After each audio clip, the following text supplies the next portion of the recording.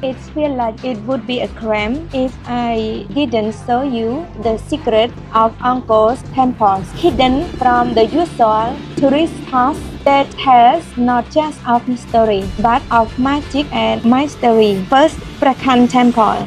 Die right in at Preah Khan. It's more than ancient stone. It's a living storybook.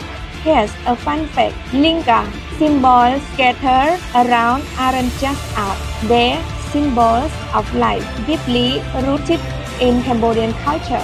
Hate to break it to you, but Preah Khan is not just a temple.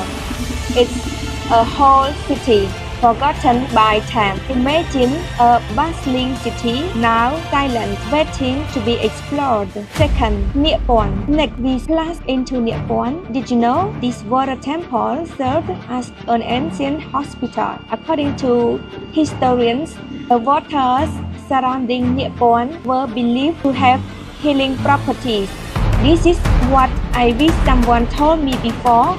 Neak Pean's central pool mirrors the Himalayan lake, a design meant to harmonize earth and water. It's not just architecture, it's ancient wisdom. Third, Kasam Temple.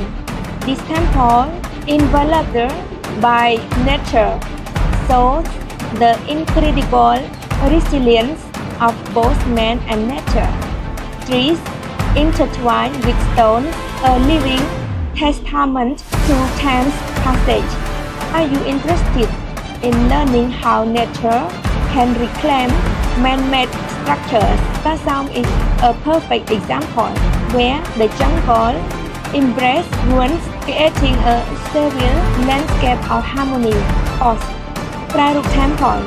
Climbing the steps of Pre Rup, you touch the sky. This temple was a funeral site where the last rays of the sun has a golden glow, believed to guide spirits to the next life. As the sun sets over Srah Srang, the water reflects a tapestry of colors.